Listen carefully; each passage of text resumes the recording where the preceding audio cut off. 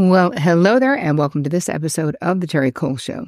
That I want to start with a question Do you find it hard to open up to people or to let them in, especially when you're struggling? Is it hard for you to ask for help or to allow people to help you? Have you ever had a crisis where you kept what was happening to yourself because you didn't want to worry the people in your life? Anybody? Anybody? Well, in today's video, I'm actually sharing my own personal experience that just happened recently with a recent health scare.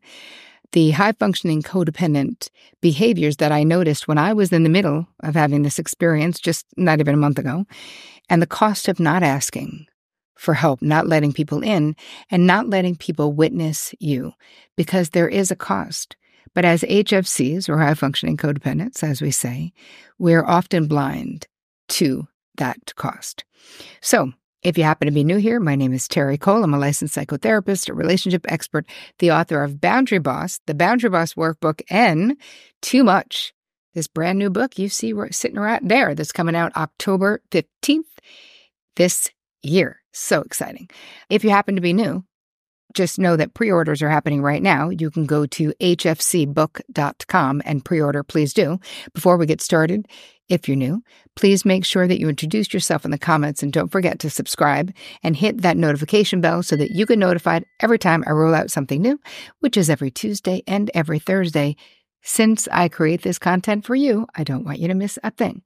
I also want to say thank you so much for all your questions and your comments. This is a very active comment section, as you guys know, and I love to highlight your questions and comments. So this is from oh D8001, and it's under the video Don't Believe These Father Wound Myths Truth Revealed Inside. No matter how long it will take for me, I will listen to all your videos because they give me keys to internal freedom, keys to become myself, to understand myself, to heal myself, to appreciate myself, to transform myself. I am 73 years old, so grateful, so grateful for all the free educational material that you provide. I am so grateful and impressed with you that you are here doing the thing that you are doing learning and evolving because what we really do know is that we're never too old to change anything that's not working in our lives. So props to you, D8008. I appreciate you. All right, so let's move it on into today's episode. Okay, so this is going to be a different format than what it usually is because I really am telling you a personal story. And I'm trying to change my own HFC ways. So I thought sharing it with you might be a way that I could inspire you, A, to be on top of your health, but B, to let other people in. So I went for a mammogram. This was a few months ago. And my um, family history is that I have a lot of breast cancer in my family. So I have three older sisters. Two of the three have had breast cancer.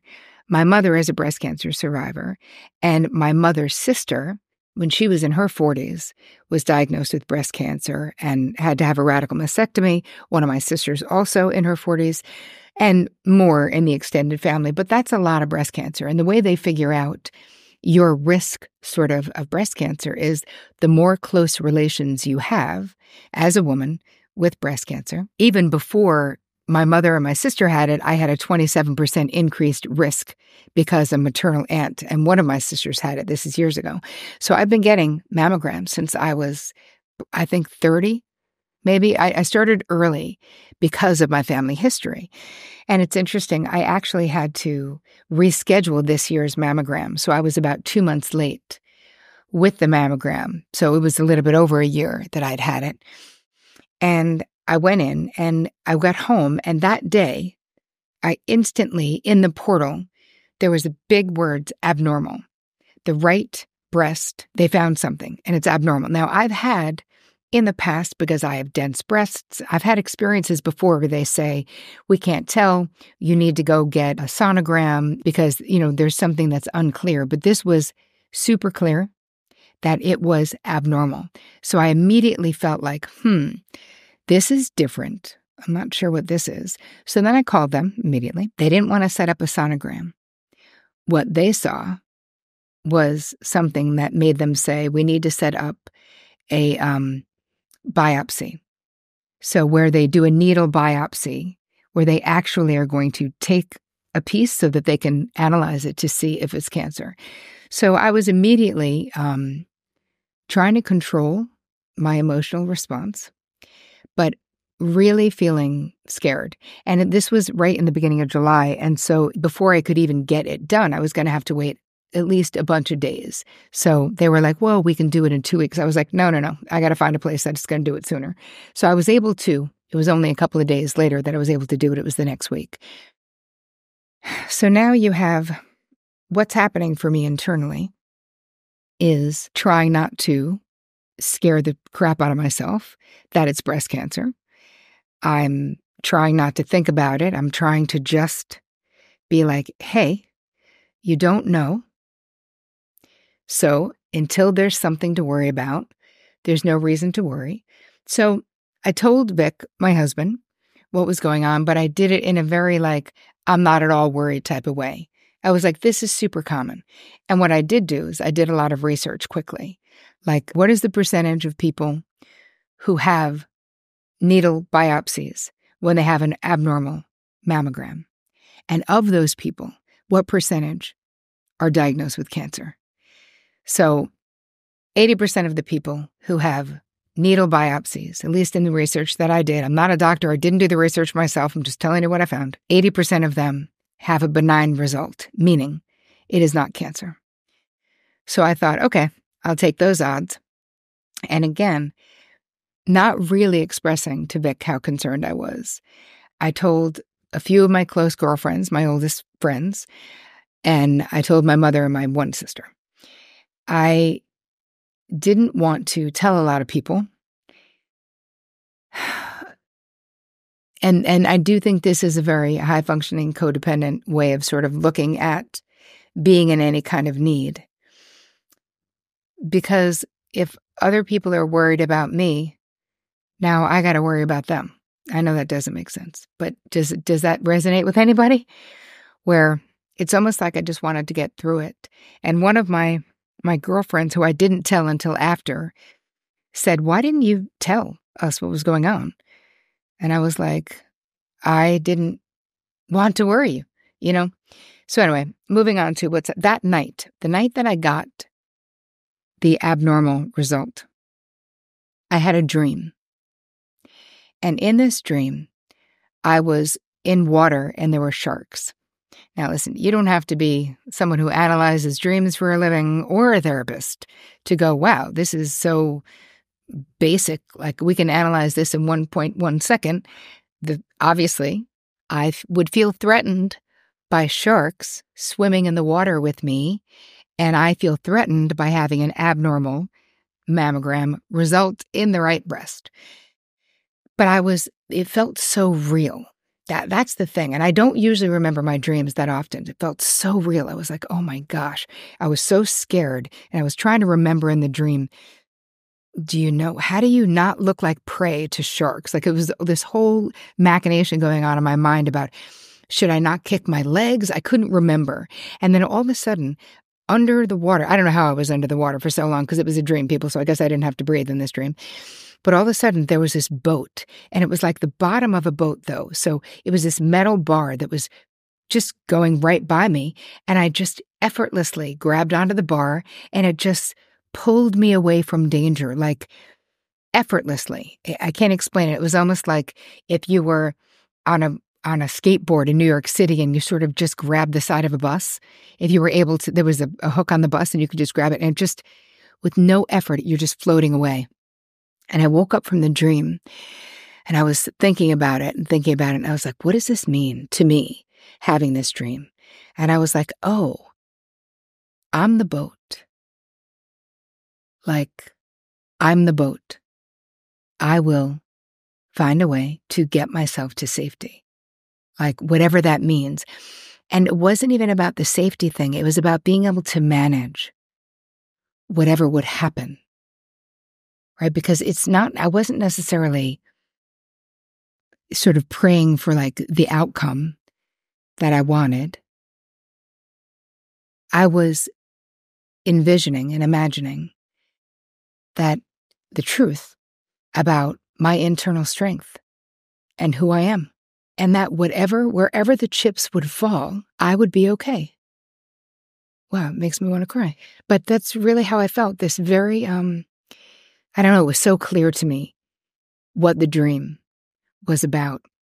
And it made me feel so proud of all of the psychological work I've done in my life to be able to look at it from a perspective. And listen, I've had cancer before. So I also think that that helped me be able to go, like, you could have cancer and live, even if it is cancer. You know what I mean? But that dream felt very like a, it was very soothing to me. Like, you know what? No matter what happens, you're going to be okay. And I had my moments throughout where the fear would come in, but it would be brief. And I would just say, hey, listen, if you get the result, if it's cancer, you're going to have plenty of time to freak out, Tara. Do not waste your bandwidth, your youth, and your beauty doing it now. It may not even be necessary. So just take a chill pill. I was dedicated to meditating, dedicated to just just the positive self-talk like you're okay. Whatever it is, you're okay and you will be okay. Even if it was the ultimate not okay, it's who am I in the face of that? Who would I be? And I felt really strong that I would be okay. But I wanted to tie in, though, what I really did notice that the hypervigilance that I have around being self sufficient, you know, I think there's a hyper independence that can come with being, even being in recovery from HFC. But what you'll see when you get the new book, which you can pre order right now, by the way, hfcbook.com. Um, it's called Too Much. I think you're going to love it. But it's all about high functioning codependency. Is that you can be in recovery, meaning you can have good boundaries and you can not be codependently relating to the people in your life.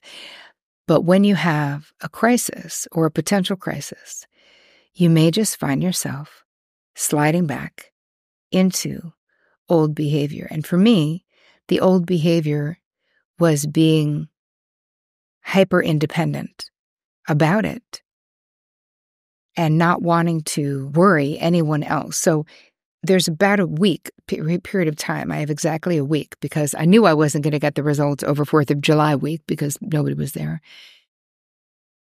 And it was already now going on more than a week. And I kept looking in the portal because that's where the information was supposed to be.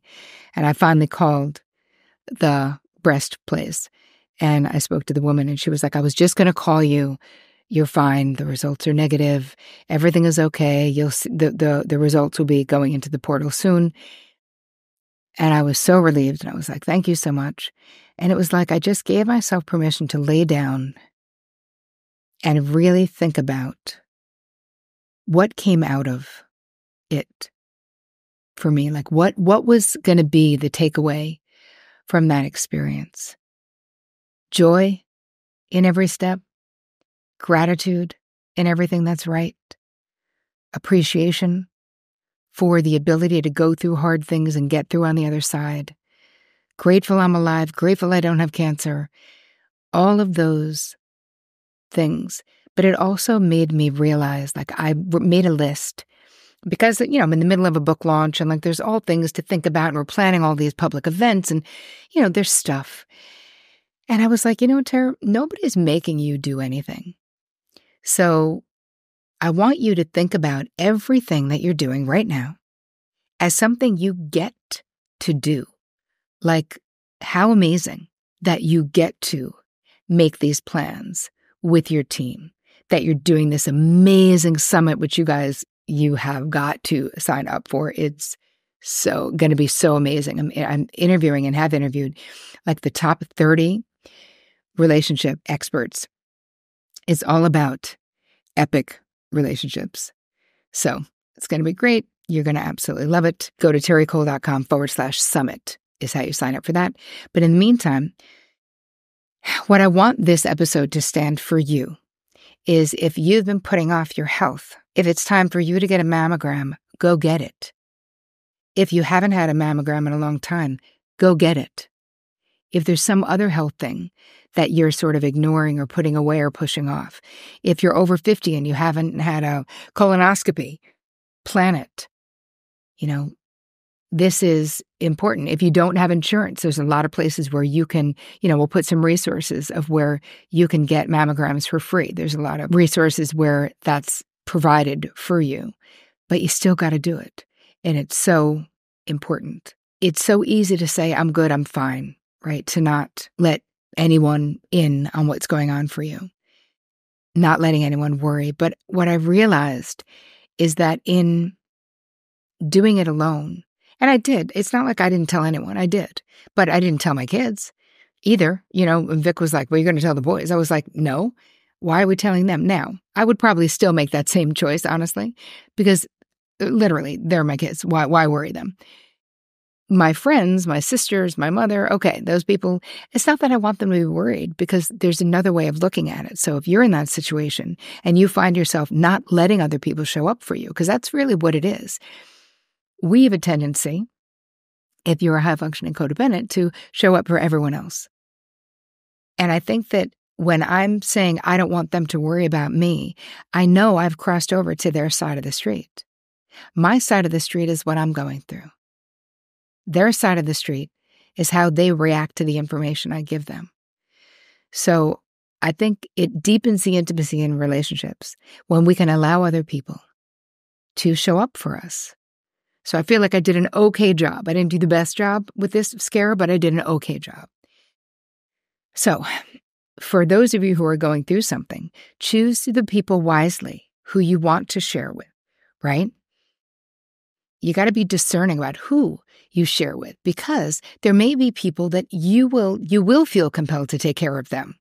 Right? If it's someone where it's always about them, they'll somehow make your health crisis about them too. So, how do you actually ask for support? Think about the people who support you want. And then tell the truth. Hey, I'm actually waiting for these test results. I'm a little bit nervous. I could use some support. Right? Just tell the truth right? I think that a lot of us walk around in life not wanting to be a burden to other people. But I also think that's a mask and an excuse for not wanting to be vulnerable. I think that's the thing that we really don't want to be. Because when I worry about a friend, when my friend is going through something and she tells me, but Vic is going through something, do I feel burdened by them? No. I feel close to them. I feel connected to them. So, part of what I'm hoping that you'll take away from this episode of The Terri Cole Show is that there's a way for us to allow the people in our lives to do that and be that for us. And this is what having healthy relationships, speaking of epic relationships, this is what having epic relationships is all about. You know, and when we are hypervigilant in our own independence, taking care of everyone else. What we're not doing is taking care of ourselves first. And really, the truth is, that's the only way you're going to be in epic relationships with other people if you have an epic relationship with yourself. It is so incredibly important that you do that and that you give yourself permission to be supported by the people who love you. Right? So, anyway, I have some ideas for you in the guide terricole.com forward slash guide. Make sure that you sign up for the summit.